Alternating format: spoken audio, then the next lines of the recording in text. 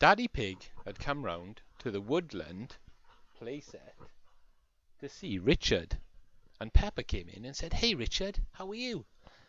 And Peppa started messing about with Richard and tickling him.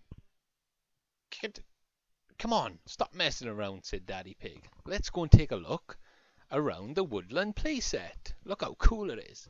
I can see some candy canes, cookies, Smarties, and even some Orbeez in the cauldron. Now come on, Daddy Pig, pick one out." So with a helping hand we pick one of the blue Orbeez balls out of the cauldron, and we tip it on top of the cookies and the Smarties. Wow! It went straight back in the pot. Let's get it back out. Come on, let's tip 'em out and see how cool they look on the floor. So with a helping hand we can place them on the floor. And Peppa, Richard and Daddy Pig all really love the blue Orbeez balls. "What's behind that door?" said Peppa. "Let's go and take a look." So Daddy Pig, Richard and Peppa Pig all went through the door. Wow!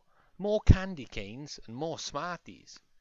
Let us know in the comments below if you guys like the new Woodland playset from Peppa Pig. Don't forget to subscribe, said Peppa.